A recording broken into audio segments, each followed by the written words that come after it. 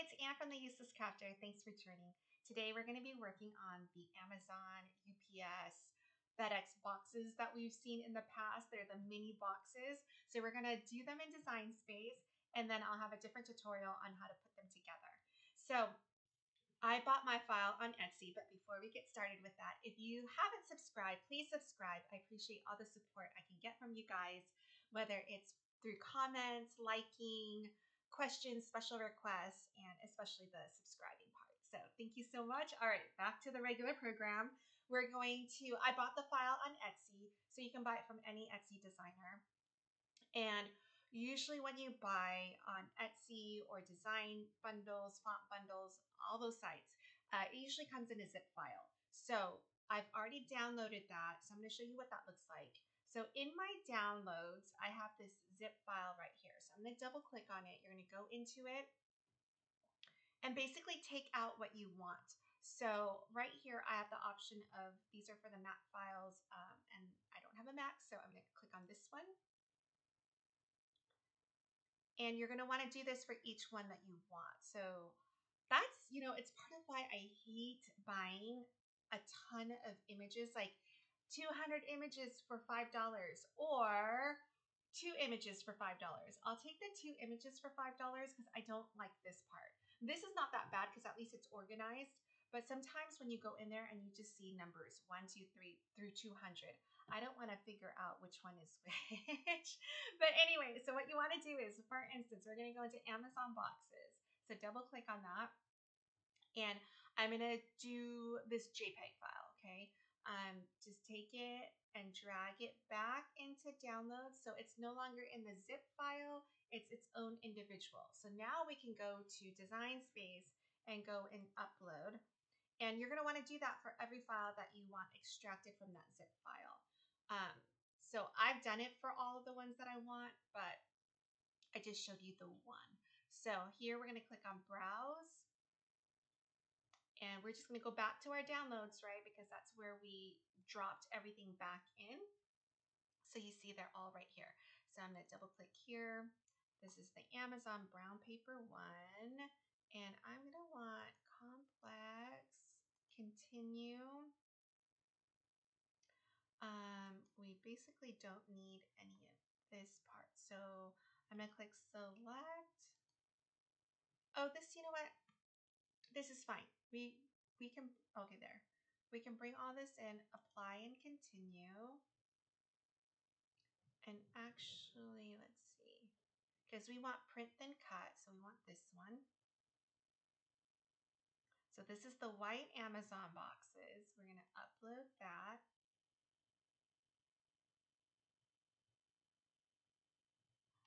Okay. Then we're to go and upload the next one so let's browse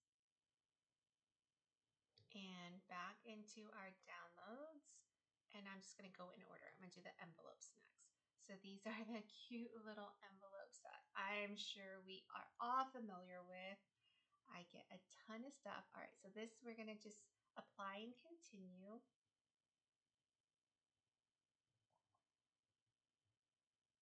These are envelopes. I'm going to put Amazon on them too so I can find them at some point. Okay. Um, I want the print and then cut and upload. Okay, so we're just going to work on these two for now, okay? So um, select both items and add to canvas. So here you're going to need to resize them and let's see what the directions say.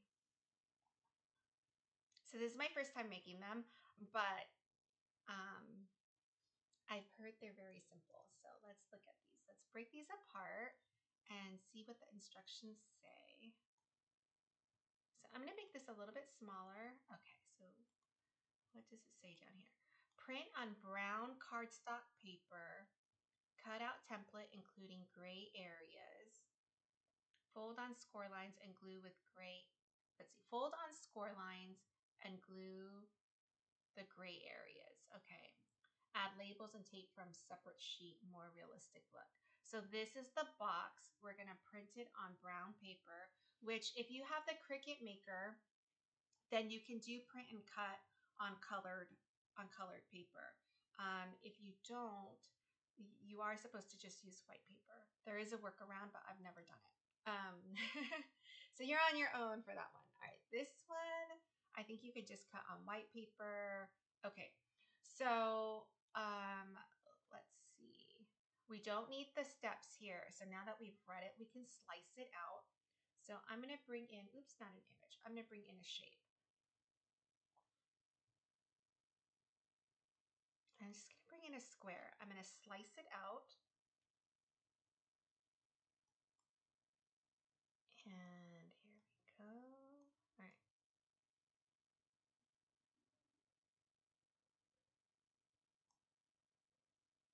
Mm.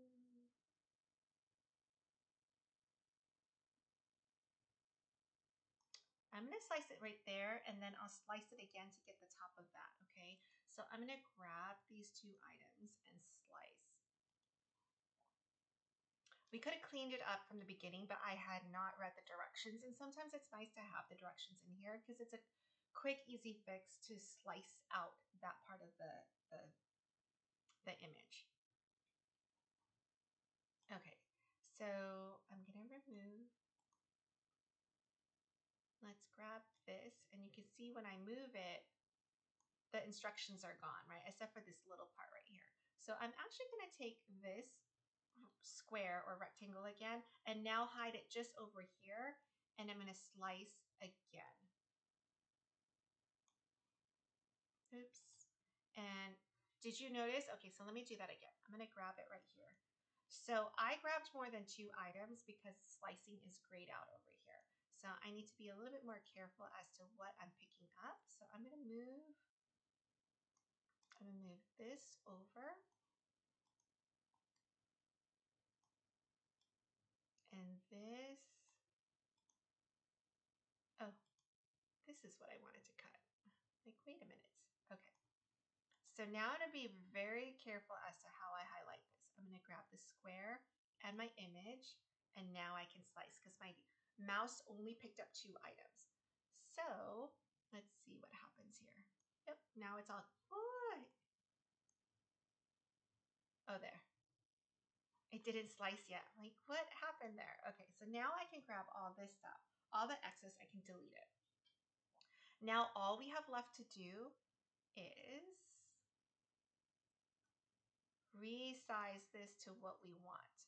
So the way you would, the way you can figure out how big this box is, is you would just measure from here to here because everything else is folded in, right? So let's bring this up really quickly.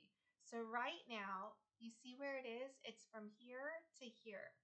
So that's 12, let's see, 13 is right here. So this is two and a half inches long. This box is gonna be two and a half inches long. So if you want it that size, which two and a half inches, that might be too big for my for my little ornaments. I wanna stick these boxes inside an ornament. Um, so I'm gonna make it a little bit smaller. And in fact, wait, hold on this is way too big because we're not going to be able to print and cut, right? Print and cut is limited to 6.75 inches by 9.25 inches. And this right here is almost 8 inches by 15 inches. So what we're going to need to do is slice them out so that it's each box is its own piece as opposed to three of them together. Um, let's look at this one as well. Yeah, both of these are way too big. So let's um, grab our square and we're just going to slice them out because right now this print and cut is coming in as one image with three boxes on it. We're going to change that so that each box is its own image. And that gives us a little bit more room to, to um, really spread out our boxes and um, fill up the space so that we don't waste any cutting paper. So, all right, let's see here. So you see now we slice that piece out. So now this is by itself. So this, um, yeah, this is too big already by itself.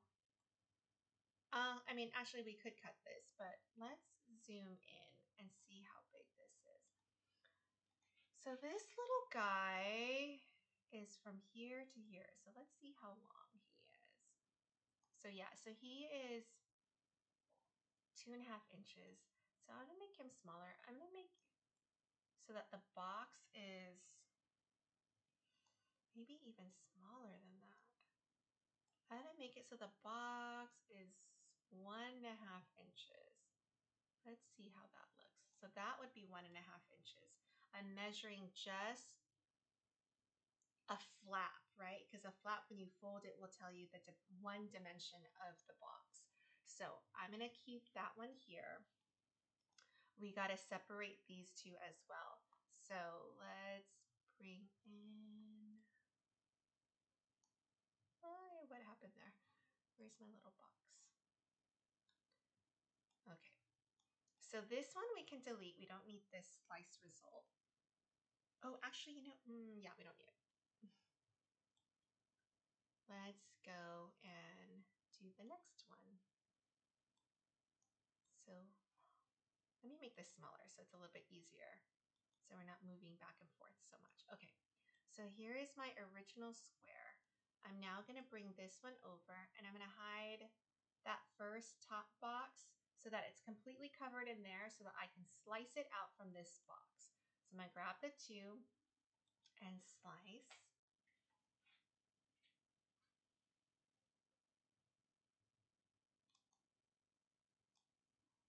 So move that there, delete this,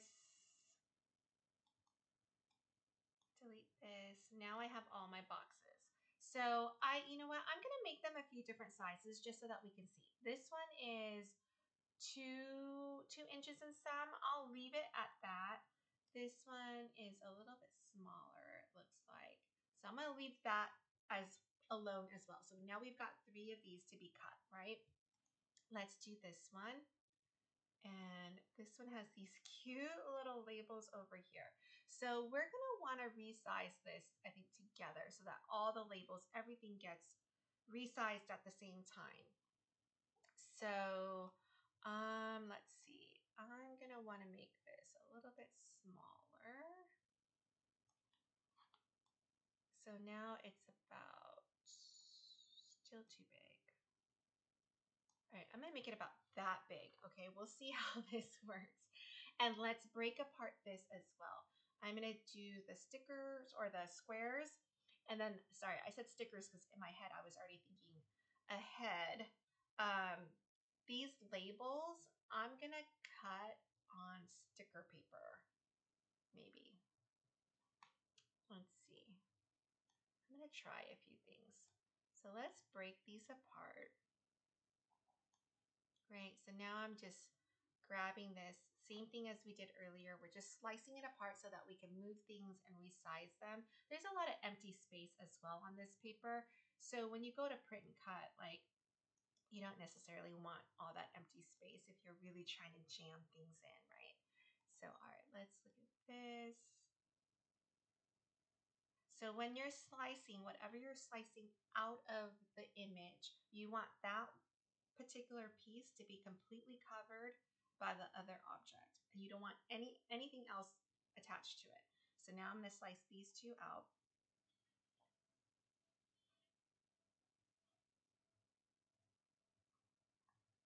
And I think I'm going to be out of space on this square. So I'm going to need to bring in a clean one. I'm just deleting this.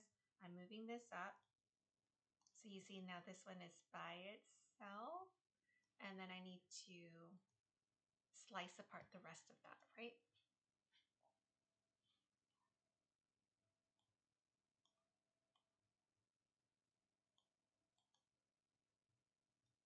I'm so excited to do this. I haven't, I saw this, I mean, I think they, they were really popular a year ago.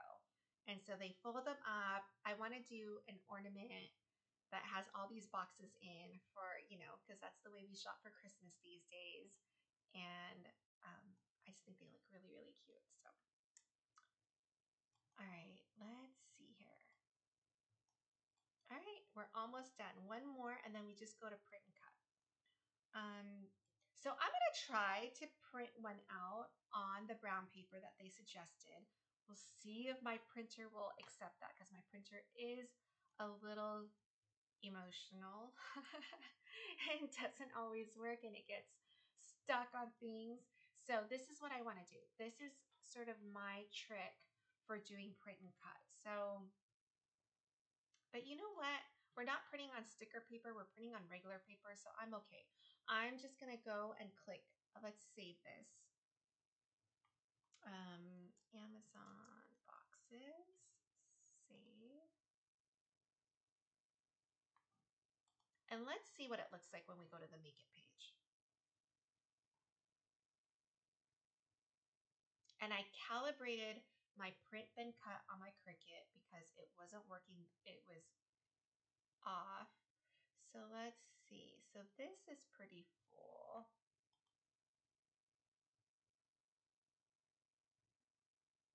All right, let's see what we can do. I feel like we can do better than this.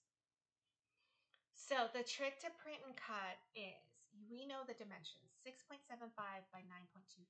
So what you want to do is you want to bring in a shape bring in a square that we're going to unlock and change the dimensions. Okay, so we're going to unlock this and we're going to change it to 6.75 by 9.25.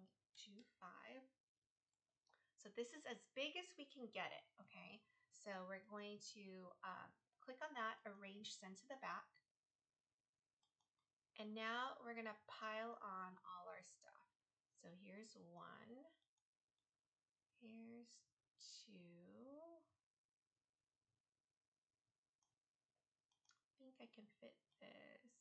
So what was it earlier? Was it four pages or five pages? So I can do that. I can actually cut two of those. So maybe I'll do a copy and paste. And let's just cut them out in case we need to, and in case we need extras, right? So that's one.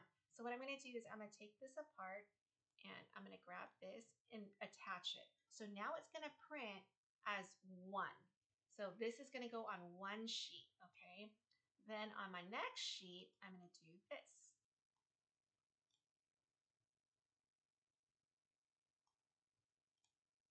Mm, yeah, this one's big.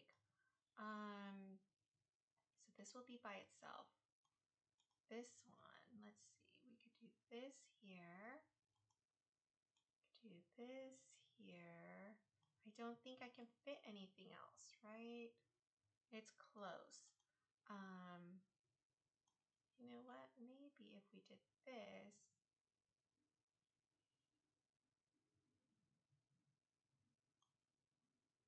okay, I think that's gonna work.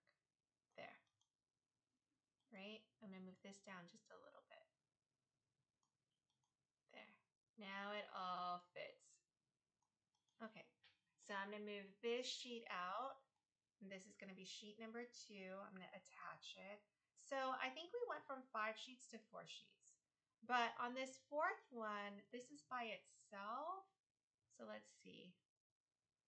I can fit another one, right? So copy, paste, and do this.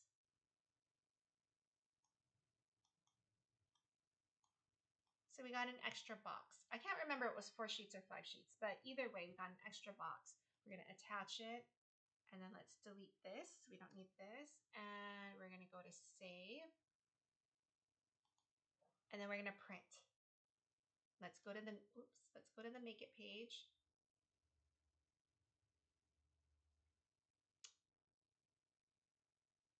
And all right, so we're to put these little bad boys and then we're going to cut it and then I'll meet you back to actually assemble it onto our ornament. All right. So I hope that was helpful in just, you know, how to do print then cut just to prep it and get the most out of your paper. All right. I will see you guys in a little bit.